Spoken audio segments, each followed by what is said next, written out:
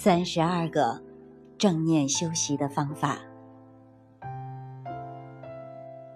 三十，以无助型的精神工作，全家福做或半家福做，随顺你的呼吸。取一个乡村发展计划，或任何你觉得重要的计划。取一个乡村发展计划，或任何你觉得重要的计划，作为你关照的主题。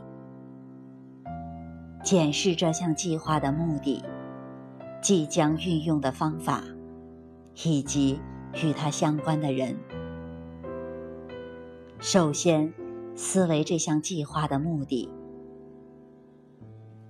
了悟这项工作志在服务。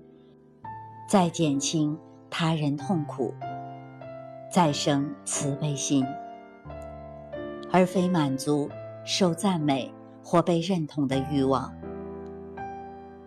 接着，了悟这个计划所使用的方法，是在鼓励人与人之间的合作。别将这个计划视为一种施舍的举动。最后。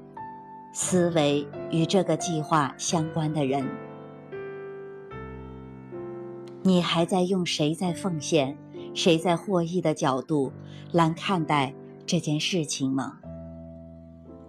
如果你仍然对谁是服务者、谁是获益者而有所区别，你是为了你和其他服务者而工作，而不是。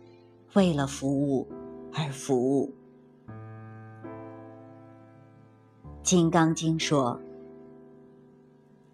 如是灭度无量无数无边众生，实无众生得灭度者。”决心要以无助行的精神去面临你的工作。